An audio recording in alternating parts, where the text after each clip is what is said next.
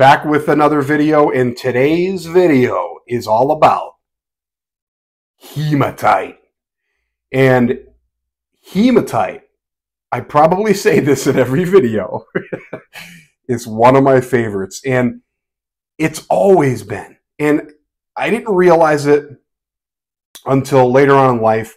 I think one of the, the main reasons I love hematite, and you should too, is if you're one of those people that can't feel energies of crystals very easily or think that you can't, this is definitely one that you should go to first because I feel like anybody can feel the energies of hematite.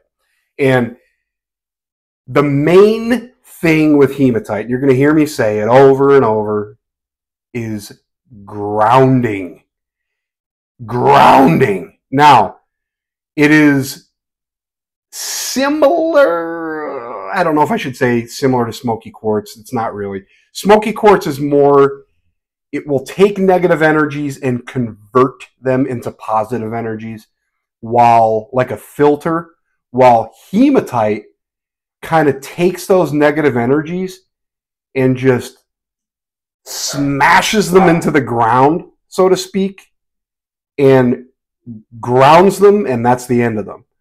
It doesn't really convert them into better energies. It just kind of says, hey, pow, I'm going to punch you right in the face and knock your negative energy right into the ground.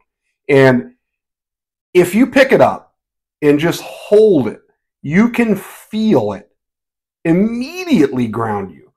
It's it's honestly so easy to feel the energies of hematite because it it I don't want to say shields you in a way, I guess it does, but it just it, all that negative energy that's around you, it just immediately absorbs it. And it's like it's like having a lightning, what are those things? A lightning rod. When the lightning hits it, it just whoop right into the ground. Think of hematite like that.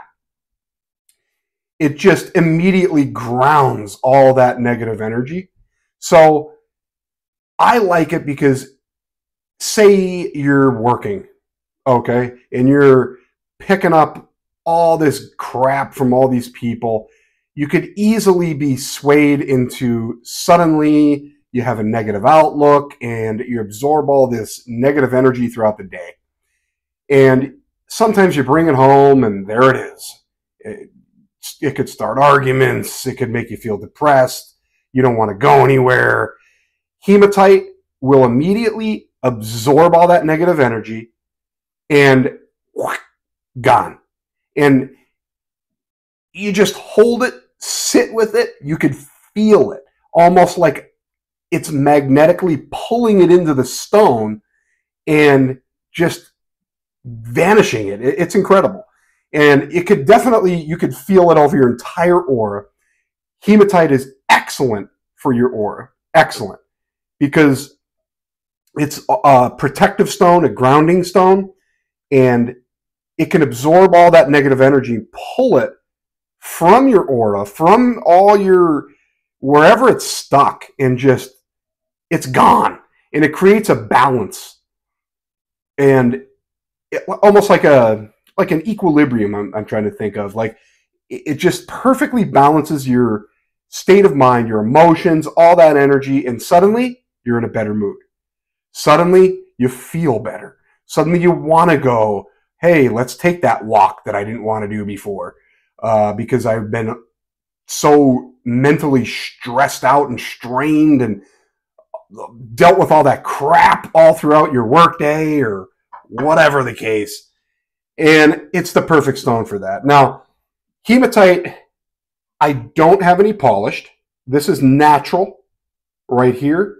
And again, awesome, awesome to just hold.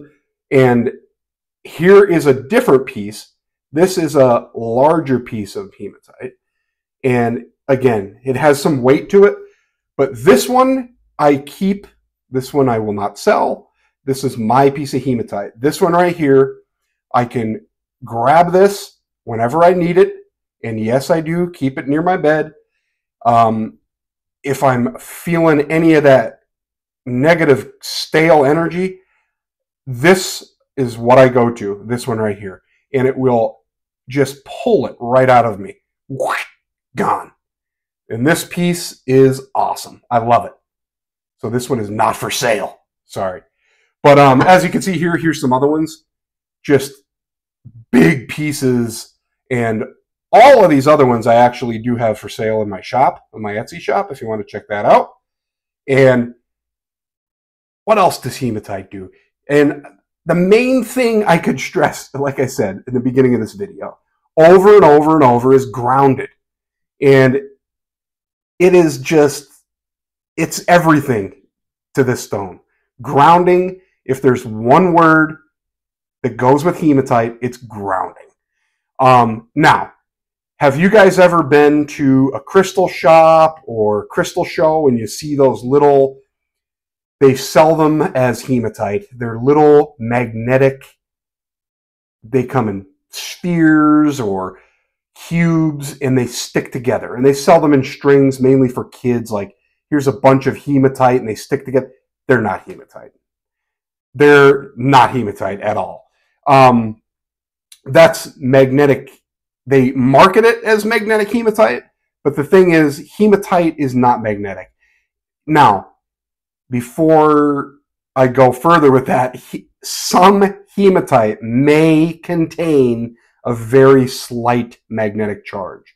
So be careful if you're using it and you have a pacemaker or something like that.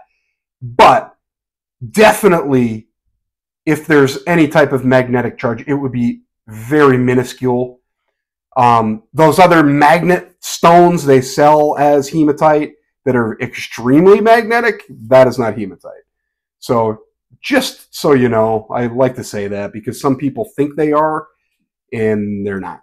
So that's kind of why I like to stick with the. This was a nice one too. Look at that. Um, just beautiful, shiny, awesome, just natural hematite, and that's kind of what I like. But you could. I did have at one point. I had some towers and hematite, um, and I think some spheres. It, it, it is able to be polished and, and stuff, and it it does and cut, I guess, but it, it does come out looking pretty awesome. But again, I always prefer the natural over something like that. Um, excess worry, excess fear, all that excess junk it'll pull that all out and just ground it like a lightning rod right from the space around you. Um, keeping it near your workstation at work, um, a pendant, a, a bracelet. Hematite is fantastic for wearing it because the space around you, it could literally just absorb all that crap energy and just get rid of it. So also awesome. It's associated uh, perfectly with the root chakra. Um, awesome, awesome stone for the root chakra. It's perfect for it. Works great, and you could feel it working on your root chakra. So if you're specific to that, definitely this should be one of the go-tos. But in my opinion, it's one of the strongest root chakra stones you can get that's that's my opinion. There's others that are excellent for the root chakra, but if you want to really cleanse your root chakra, this is definitely a go-to for me. And it's a go-to for just grounding everything. So I'm not going to keep saying grounding over and over. I'm going to just stop because it's probably already annoying. I'll have to go back and see how many times I said grounded. Um, but bottom line is, that's what this does. And if that's what you're looking for, this is what you want to get. So here it is in all its glory and all its beauty hematite. See ya. So, quick note I actually ended the video already and I had to come back and add this part because I forgot. And this is a really important part to um, hematite is this will pull in all that negative energy and hold it. So the very important part I left out is when you're done working with this, or even before you work with it, run it under some water is the easiest way. And that will actually cleanse it, not physically.